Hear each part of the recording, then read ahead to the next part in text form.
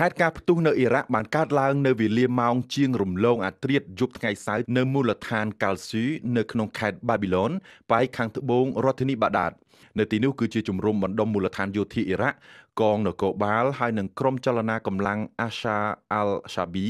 ក្រុមចុងក្រោយនេះគឺជាក្រុមប្រដាប់អាវុធដែលគេស្គាល់ច្បាស់ថាជាក្រុមកាន់ជើងអ៊ីរ៉ង់នៅកន្លែងផ្ទុះកើតហេតុមានដីក្រហមជម្រៅ5ម៉ែត្រហើយនឹងទំហំប្រមាណជា10ម៉ែត្រនេះបើតាមសេចក្តីរាយការណ៍របស់នាង Marie Charlotte Rupi ជាអ្នកកាសែតវិទ្យុបារាំង RFI នៅរដ្ឋធានីបាដាតមន្ត្រីជាន់ខ្ពស់ក្រសួងការពារជាតិអ៊ីរ៉ាក់បានប្រកាសប្រាប់ទីភ្នាក់ងារព័ត៌មានបារាំង AFP នៅក្នុងក្របខ័ណ្ឌសំលាក់ឈ្មោះបានឲ្យដឹងថាការវាយប្រហារនេះគឺសម្ដៅចង់កំទេចអង្គភាពកងរថក្រោះរបស់កងទ័ព Asha al-Shabi ដៃជើងរបស់ក្រុមនេះជាច្រើន នៅអ៊ីរ៉ាក់និងនៅស៊ីរីគឺជាក្រុមគ្រប់គ្រងអ៊ីរ៉ង់ ដែលរួមពូតដៃគ្នាច្បាំងប្រឆាំងអាមេរិកនិងសម្ព័ន្ធមិត្តអន្តរជាតិក្រោយពីកើតហេតុនៅអ៊ីរ៉ាក់ភ្លាមភ្លាមសហរដ្ឋអាមេរិកបានចេញមុខប្រតិកម្មភ្លាមភ្លែតដែររដ្ឋបាលទីក្រុង Washington តាមរយៈទីបញ្ជាការកងទ័ពអាមេរិកប្រចាំតំបន់មជ្ឈិមបូព៌ាបានប្រកាសថាសហរដ្ឋអាមេរិកពុំមានពាក់ព័ន្ធទៅនឹងការវាយប្រហារបំផ្ទុះមូលដ្ឋានយោធាអ៊ីរ៉ាក់នោះឡើយនៅគ្រានេះមានសំណួរជាច្រើនតែគ្មានចម្លើយច្បាស់លាស់ទេ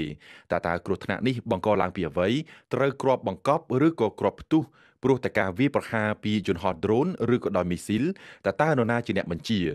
ក្រសួងមហាផ្ទៃអ៊ីរ៉ាក់បញ្ជាក់ថាកំពុងតែបើកការស៊ើបអង្កេតរកមើលមូលហេតុឲ្យពិតប្រាកដដើម្បីឆ្លើយតបទៅនឹងសំណួរទាំងអស់នេះ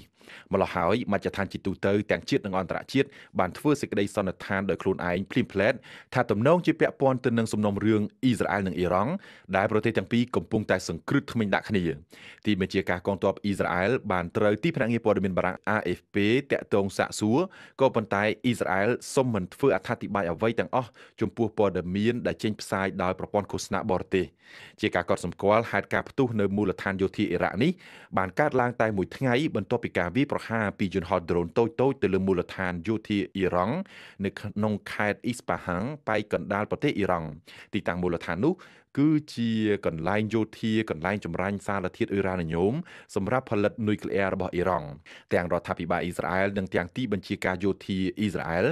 គ្មានបញ្ជាក់ហើយក៏មិនបានច្រានចោលថាជាស្នាដៃរបស់ខ្លួននោះដែរចំណែកកងកម្លាំង Asha al-Shabi